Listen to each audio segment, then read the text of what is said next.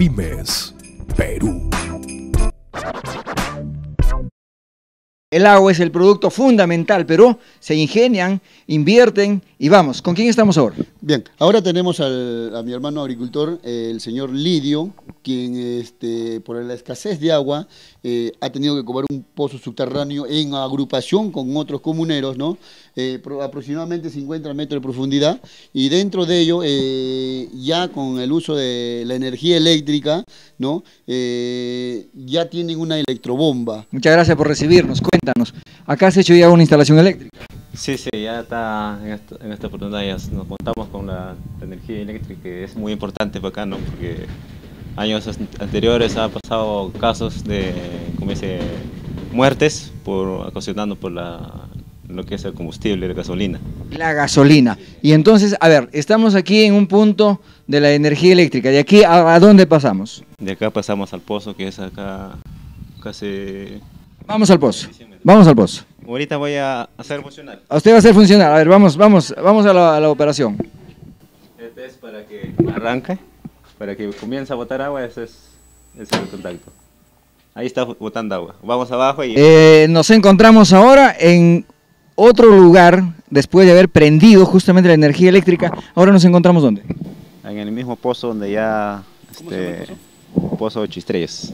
Pozo 8 estrellas. ¿Por qué? Porque de inicio iniciamos con 8 socios y por eso... Con, Son unas estrellas ustedes. Bueno, la- ¿Qué profundidad tiene? una profundidad se está acercando cerca de los 50 metros. 50 metros, amigos, sí. Obviamente vemos la profundidad. Y al interior está una motobomba. Sí, una motobomba que... Electrobomba. Electrobomba. Electrobomba. Sí, electrobomba. O sea, cuando usted prendió en el tablero, automáticamente se activa acá. Se activa la electrobomba y ya nos bombea el agua. pues. Perfecto. ¿Y qué cantidad de agua aproximadamente para cuántas hectáreas, digo, abastece? Bueno, en este, ahí cuando empieza la temporada, o sea, nosotros regamos a partir de, de junio hacia adelante, ¿no? Pero ya este tiempo es poco. Ahora, ¿cuánto de inversión llevará a tener, digamos, acá hay una inversión importante?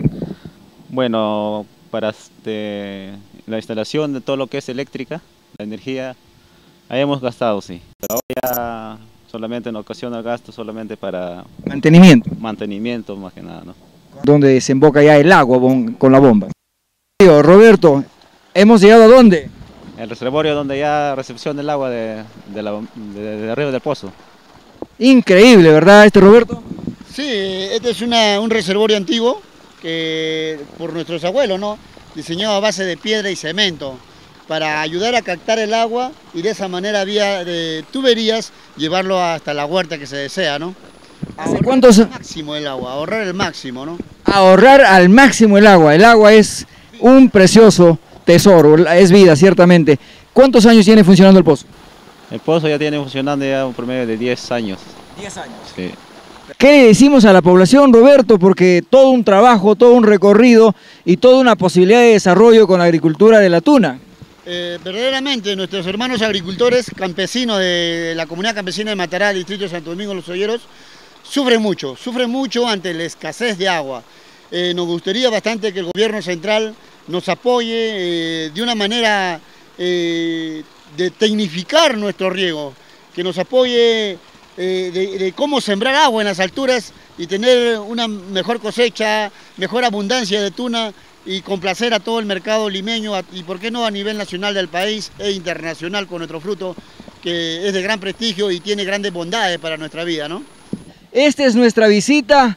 Hay que cuidar el agua. El agua es el tesoro preciado en realidad y con esto podemos incrementar la producción agrícola con mayor valor. Nos regresamos contentos. Co- Gracias Roberto, eh, gracias Lirio y gracias Agua Bendita por darnos la vida a nuestras plantas y a nosotros también. Pymes, Perú.